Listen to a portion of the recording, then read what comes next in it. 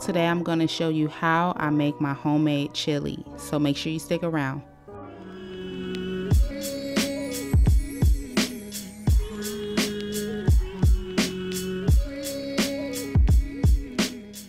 First, let's start by chopping our vegetables. We're going to saute these in our pot. So make sure you rinse all of your vegetables before you begin to chop them down and we're just going to roughly chop them for this recipe. When you get to your bell pepper, you can discard that inner core of the pepper, throw that out.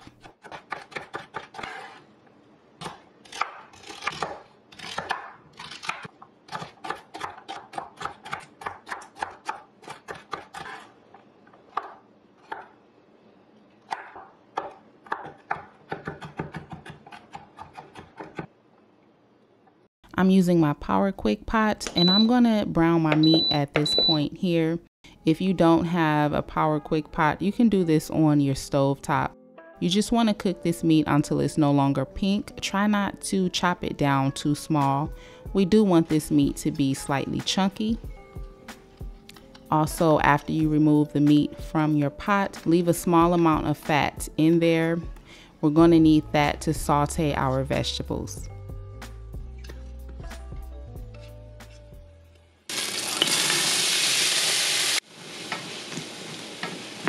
Cook these until those onions are slightly translucent.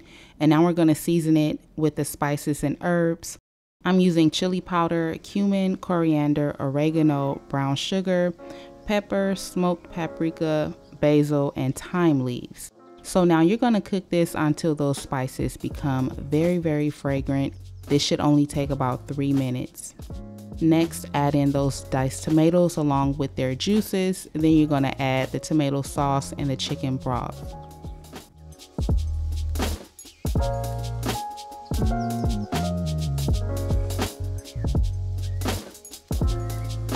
And now we're going to add our canned beans, okay? Make sure you rinse them off first. Also, you're going to add your ground beef back in the pot. And at this point here, you would add your Worcestershire sauce and you would add your bay leaf down in there as well. So now we're gonna cover it with the lid. I'm gonna select the slow cooker feature on a low setting for six hours with a temperature of 195 Fahrenheit.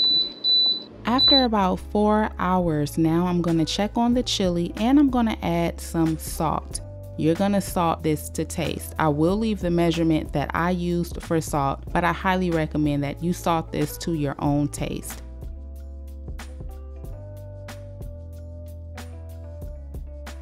So I let this cook for a total of six hours. So this is what my chili looks like.